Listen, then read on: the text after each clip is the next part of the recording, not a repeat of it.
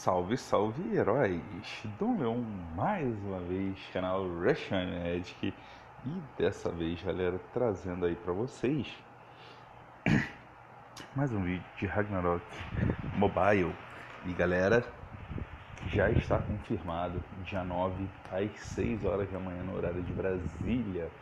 O beta fechado do servidor foi curtinho começou no dia 3 foi até hoje dia 7 eu não joguei muito lá, só, só fiz algum, alguns ajustes para tentar conversar, interagir com algumas pessoas que participaram beta, mas meu objetivo não era jogar tanto lá.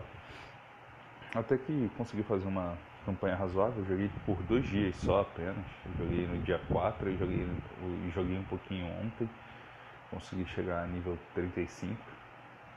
Dava para ter conseguido mais, com certeza, mas eu estou preferindo me centrar nesse servidor aqui ainda e assim, eu consegui completar o modo história aqui da, desse, mas assim que fechou, mas voltando ao beta, assim que fechou o beta, é, eu vi que o pessoal, eu vi que, que eles botaram lá, o servidor será lançado dia 9 às 6 horas da manhã. Então provavelmente 6 horas da manhã será o horário que vai ser resetado todos os dias o, o dia do servidor. Por exemplo, nesse servidor aqui, que é o do Sudeste Asiático, é, eu vi que, que a gente consegue, é, quer dizer, que ele reseta o dia às 8 horas da noite no horário de Brasília. Então o nosso deve ser às 6 horas da manhã no horário de Brasília, todo dia que deve resetar o dia. O que, que, que, influencia né, o resetar o dia? Vamos entrar aqui no personagem. Eu ainda tenho que falar um pouco também. Eu estou vendo que o vídeo. Tem um vídeo aqui do canal que está sendo muito acessado de Ragnarok, que é o do Arroaceiro. É, eu estou vendo que a galera está acessando, questionando bastante coisas. Eu buquei um grupo no, no WhatsApp, vou deixar o link na descrição para vocês. E assim, é... Também quero passar algumas dicas aqui para vocês sobre desenvolvimento né, da, da conta e tudo mais. Coisas que são interessantes para se fazer logo no começo do jogo. E coisas que são muito importantes para o desenvolvimento da conta também. Se você for jogar no competitivo, por exemplo, oh, que beleza! Dragon Scale dá um dinheiro bacana. É, isso, é uma, isso é uma das coisas muito importantes a se fazer, por exemplo. foi até bom. Não esperava receber, mas foi bom pra caramba. Então, deixa eu upar mais um pouco aqui. Né?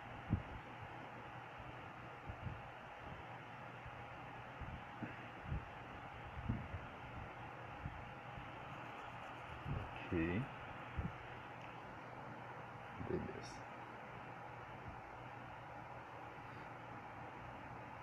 É... Deixa eu ver aqui nos assistentes. Será que...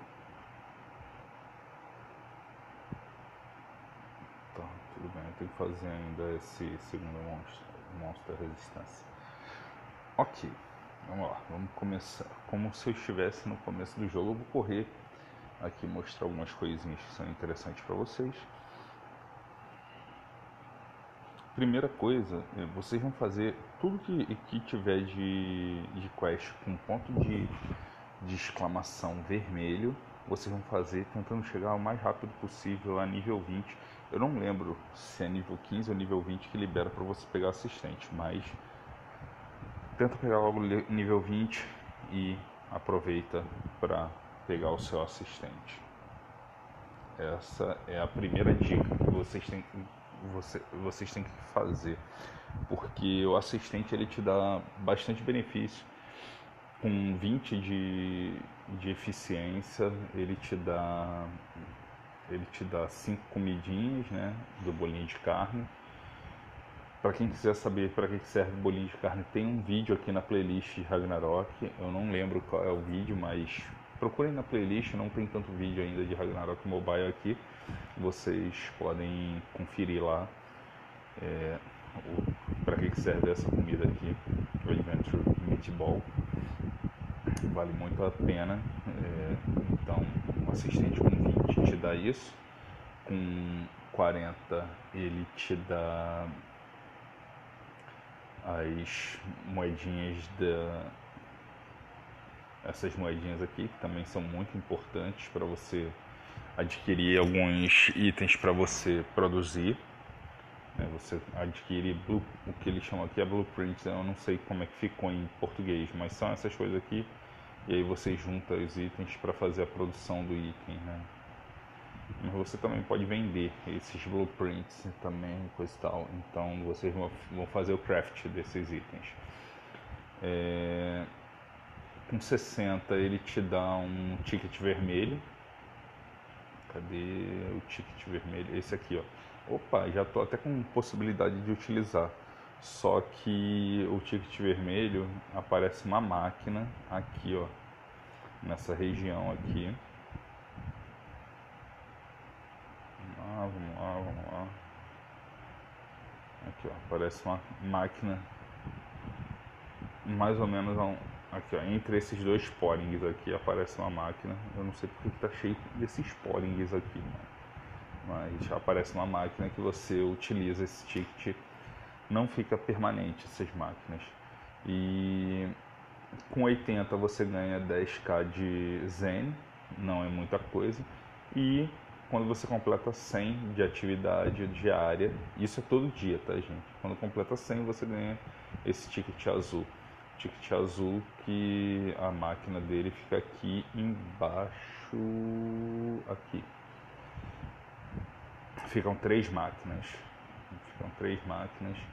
Então, assim, o assistente é a primeira coisa que vocês vão ter que correr atrás de conseguir. Muito importante, muito importante mesmo. É... Eu não sei como, como que vai funcionar o sistema de prêmios. Eu acho que esse primeiro é o do ticket azul. É, ele mesmo. Aí você tem que gastar 30 você tem que gastar 30 para conseguir comprar ou 21 da, da moedinha de gato. A moedinha de gato é, é comprada com dinheiro normal. Tá aqui, ó, os eventos que tivemos em novembro, em dezembro e agora a gente está esperando entrar o evento de janeiro. Tá ali dizendo, mas ainda não mostrou. É...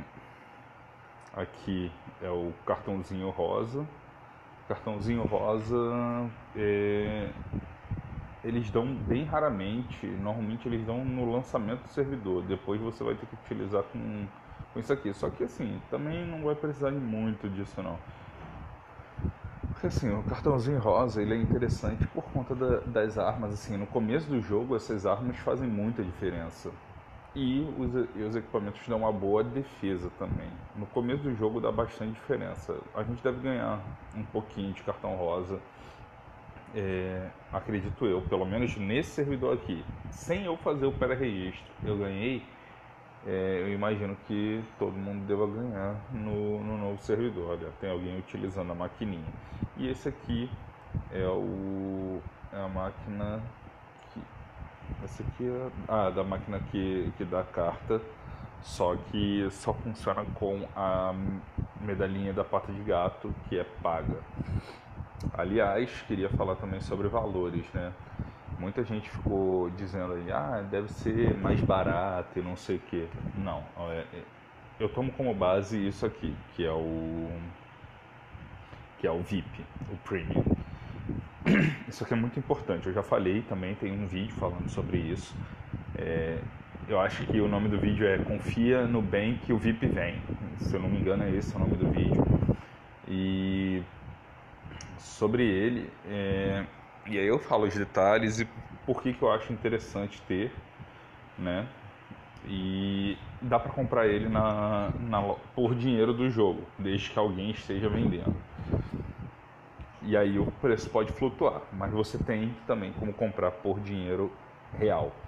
E assim, por dinheiro real, tá aqui ó, 8 dólares, para cá pra gente tá vindo a 30 reais. No beta mostrou que era 30 reais provavelmente esse valor deve ser mantido. Então, trintão aí pra gente pegar um VIP. E eu não mostrei a outra coisa aqui. É, ah, tá aqui ó. As moedinhas da pata de gato. É caro, isso aqui é muito caro. Esse último aqui que dá quase 600 é, na sua primeira recarga você vai ganhar o dobro, né? Então você vai ganhar quase 1.200. Vai ganhar os 600 mais 600. Então, mas assim, o valor disso é de tava em 300, se eu não me engano, tava em 370 reais. 1.200 dessa pata. Mas por quê? Porque ela dá muito benefício. Olha o, tanto de coisas que vocês podem comprar com a, com a pata de gato. É muita coisa, muita coisa. Olha isso. Além de poder participar do, do leilão, né? Quando abre o leilão, aqui é para você registrar os itens para botar no leilão. Depois no leilão só compra quem a pessoa não compra por, por dinheiro não, a pessoa ela compra por ela compra por por pata de gato. Aqui, viu?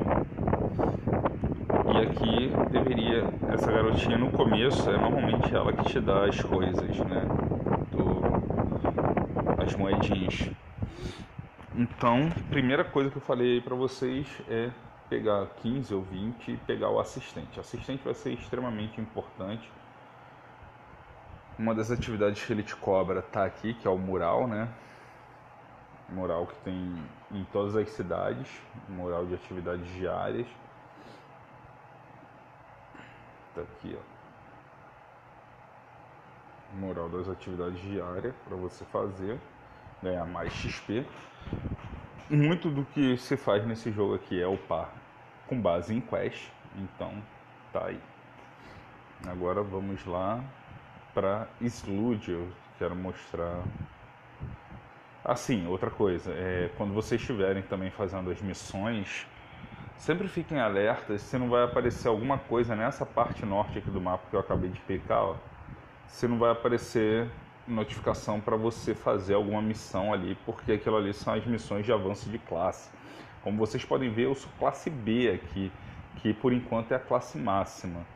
Vou botar até aqui a lista de amigos, não, não é aqui, é no livro de aventura mesmo que eu tenho que. E vai mostrar minha lista de amigos aqui, ó. Tem eu e um outro cara classe B, tem mais um classe B e um monte de classe C aqui, classe E, classe D, e eu já mostrei também os benefícios das classes aqui, né? Que dão é, skills melhores e habilitação de coisas mais interessantes para vocês. Beleza, então com isso, tentem bater fotos, tipo, pegar o álbum de vocês, ó, e bater foto das coisas. Eu tenho meu álbum praticamente completo. Eu não tenho ele completo aqui, ó. Em Aldebaran tá completo. Beleza. Então até o Aldebaran, Alde, Aldebaran está completo. E falta de Luti. De Luti ainda faltam as seis fotinhas. Então assim, eu tenho o álbum completaço e por isso que meu nível de, de Adventure está tão alto. Tentem botar nível 5 para pegar o Scout, botar nível é, 10 para pegar classe F, depois pegar nível 15 para botar classe E, assim subir. Pelo menos, galera, tentar botar classe D. Pelo menos classe D. Classe C é já muito, muito delícia. Classe B, ostentação. Mas eu tinha que fazer os testes aqui, eu me preocupei muito em upar as classes, né? Eu não, não fui muito pelo lado competitivo. Mas eu ainda vou falar no, no próximo vídeo sobre o competitivo. Mas tudo bem, agora a gente vai em Slude.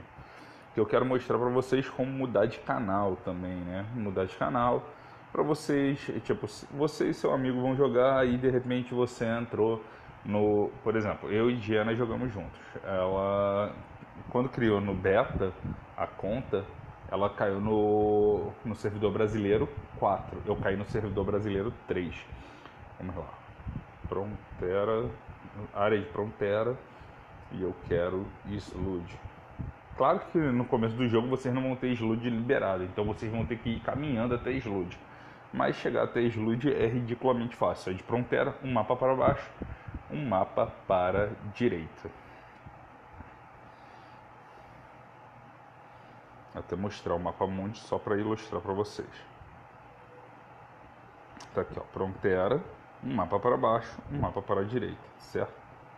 Só ir caminhando. Os bichos não são agressivos nesse mapa, então tá tranquilo. Aí vocês vão, se você quer ir pro, pro mundo do seu amigo, você vai chegar aqui com esse cara, falar, ó, quero trocar de, a minha linha. E aí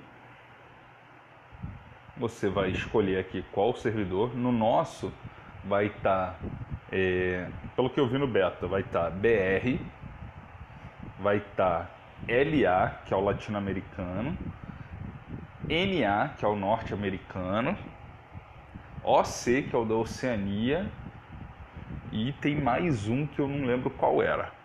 Então você vai poder escolher o canal. Provavelmente vocês vão começar em canal BR. Então vocês vão chegar lá e buscar o BR. No meu caso aqui, o, o que seria entre aspas BR é o EN. E aqui eu vou digitar o número do canal ao qual eu quero ir. E aí, esse, aí eu vou para o canal do meu amigo. Como eu identifico o meu canal? Abrir o mapa e vai estar tá mostrando aqui, ó. EN6. O meu é o 6 do EN. Então, vocês conseguem identificar seus mapas desse jeito. Bem, para começo de conversa, eu acho que tá bacana isso, né? Então eu vou criar um grupo no WhatsApp e vou, e vou deixar o link na descrição aí, vocês se divirtam, né? Fazendo aí a entrando lá no grupo para a gente tirar dúvidas e tudo mais, interagir mais.